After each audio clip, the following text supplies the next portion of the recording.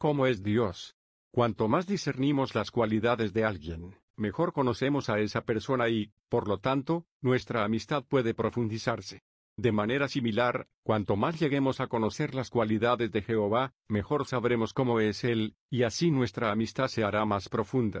De todos los atributos maravillosos de Dios, cuatro son sobresalientes, su poder, sabiduría, justicia y amor. Dios es poderoso, oh Señor soberano Jehová. Mirar. Tú hiciste los cielos y la tierra con tu gran poder. Jeremías 32 2.17. La evidencia del poder de Dios se ve en la creación. Por ejemplo, cuando estás afuera en un brillante día de verano, ¿qué sientes en tu piel? El calor del sol. En realidad, estás sintiendo los resultados del poder creativo de Jehová. ¿Qué tan poderoso es el sol? En su núcleo, se dice que su temperatura es de unos 27 millones grados Fahrenheit 15 millones C. Cada segundo, el Sol emite energía equivalente a la explosión de muchos cientos de millones de bombas nucleares. Sin embargo, nuestro Sol es pequeño en comparación con muchos de los incalculables millones de estrellas del universo. Los científicos estiman que una de las estrellas más grandes, llamada Uiscuti, tiene un diámetro de unas 1.700 veces el del Sol. Si Uiscuti reemplazara al Sol, engulliría la Tierra y se extendería más allá de la órbita del planeta Júpiter.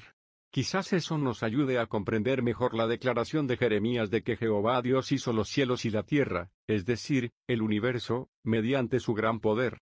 ¿Cómo nos beneficiamos del poder de Dios? Nuestra vida depende de las creaciones físicas de Dios, como el sol y todos los maravillosos recursos de la tierra.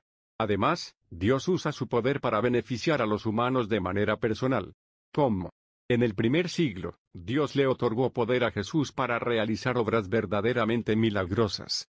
Leemos, ahora los ciegos ven y los cojos andan, los leprosos son limpiados y los sordos oyen, los muertos son resucitados. Mateo 11 2.5 ¿Qué hay de hoy? Él da poder alcanzado, dice la Biblia, y agrega, los que esperan en Jehová recobrarán poder. Isaías 42.29, 31. Dios puede suministrar poder más allá de lo normal para que podamos enfrentar o soportar las dificultades y pruebas de la vida. 2 Corintios 4 2.7. ¿No se siente atraído por un Dios que con tanto amor usa su poder ilimitado a nuestro favor? Dios es sabio cuántas son tus obras, oh Jehová.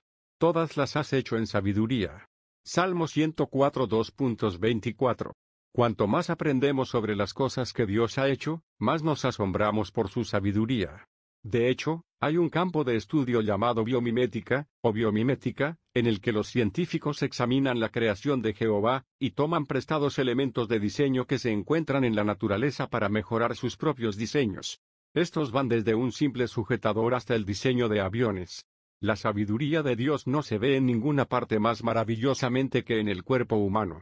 Considere, por ejemplo, la forma en que se desarrolla un bebé humano.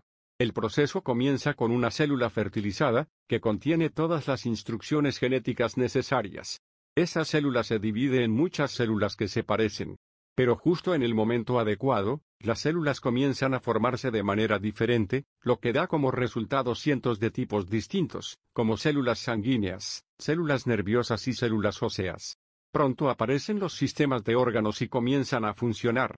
En solo nueve meses, esa célula original se convierte en un bebé completo formado por miles de millones de células.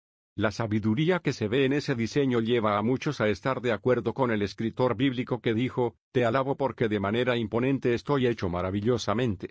Salmo 139 2.14.